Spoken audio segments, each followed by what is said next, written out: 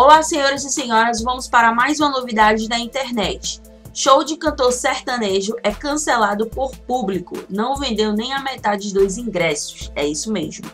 Com agenda de shows em várias cidades do Espírito Santo, o cantor sertanejo Felipe Araújo acabou cancelando algumas apresentações por falta de público, pessoal, isso mesmo.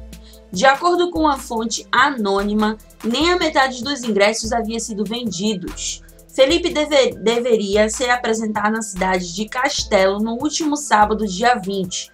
Porém, o show não aconteceu e para o público foi dito que não daria tempo para a montagem da estrutura, já que na sexta-feira, dia 19, aconteceu uma apresentação especial em relação à comemoração da Páscoa. Até o momento, o cantor não se pronunciou, o que parece até estranho, não é mesmo? Então comenta aí abaixo o que é que vocês acham, se vocês são fã do cantor Felipe Araújo, se vocês acreditam no que foi dito. Comenta aí que a gente quer estar tá lendo tudo e sabendo de tudo da opinião de vocês, tá certo? E não esqueça do seu gracioso like. Até mais!